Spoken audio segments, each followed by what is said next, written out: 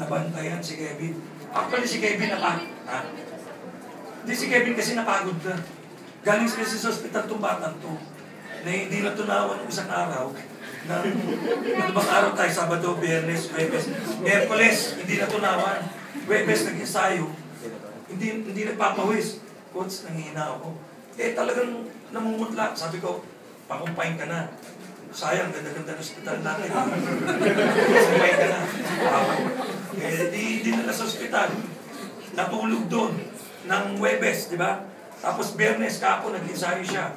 Pag-ensayo ng Biyernes, pagdating, sabi ko, oh, eh, tingnan mo yung kulay mo. Kung kulay makopa ka na. Nung araw eh, kulay suka ka eh. Hindi, ang ganda na ng itsura. Tapos sabi ko, no, ready ka na. Sabi niya, oo, coach, nag-jogging pa nung hapon. Tapos kanina, tinanong ko, kumusta ka? Coach, medyo nalalambot ng hita ko. Hindi, pahi pahipas mo na ng kay Tina yan. Okay.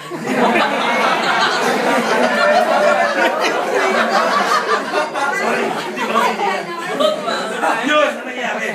Kaya, sabi niya, yung bata nakapokus. Kahit papano, ilang si Bobby, si Ray Park sa kanya. Medyo ilang sa kanya. Eh, Perer to eh. Parks lang yun. Di ba? Yung Perer pumupunta sa parks.